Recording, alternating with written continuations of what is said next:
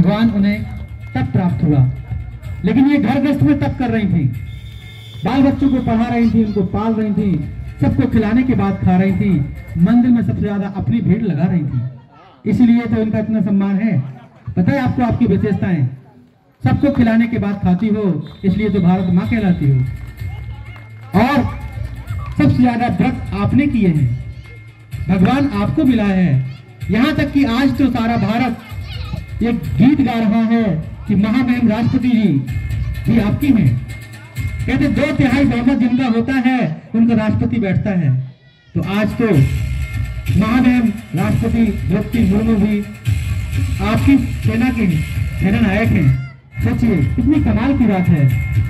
यद नारी पूजन से तब न रमनते देवता।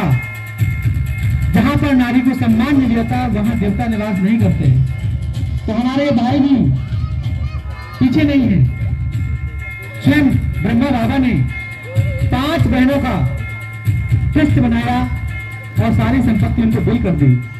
अपने हाथ पीछे कर लिए। मैं भी यहाँ समर्पित हूँ। अब जो ये आदेश करेंगी, मैं भी उस आदेश को मानूँगा। जहाँ पर पुरुष प्रधान दुनिया थी उस पुरुष प्रधान दुनिया में भी ब्रह्मा बाबा ने क्या किया? इस संस्था के संस्थापक ने क्या किया? माता बहनों को आगे कर दिया। इसलिए राम से पहले सीता, कृष्ण से पहले राधे का नाम आता है। तो ब्रह्मा देवी कुर्बानी, पूरी दुनिया की जीवन बन गई कहानी।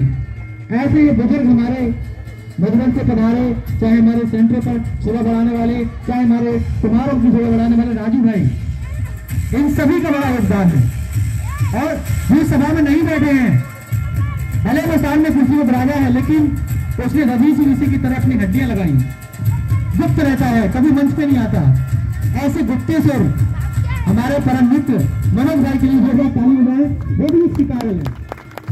लेकिन भगवान कहते हैं कि ब्रह्मा ने गुप्त पुरुषार्थ किया, मम्मा ने गुप्त पुरुषार्थ किया, दादियों ने गुप्त पुरुषार्थ किया, ऐसे बहुत सारे छुपे रुस्तम भी यहाँ बैठे हैं, जिनने बाबा के लिए बहुत कुछ किया। और बाबा ने उनको बहुत कुछ दिया। तो धन धन घोरा नाथ तुम्हारी क्वारी नहीं खजाने में। तीन लोग धरती प्रसाद है आप बसा दीवाने में। स्वयं कुछ नहीं लेता सब कुछ अपने बच्चों के लिए देता। ऐसे भगवान भोलेनाथ भी आज सभा में है और उनकी उपस्थिति में ही सारा कार्यक्रम चल रहा है। कहते हैं, जहाँ बच्चे हो बाबा ना आए, ऐसा हो कैसे सकता है? बच्चे बुलाएँ और बाबा ना आए। ऐसे कैसे हो सकता है? भगवान ने खुद कहा है कि मैं बधा हुआ हूँ।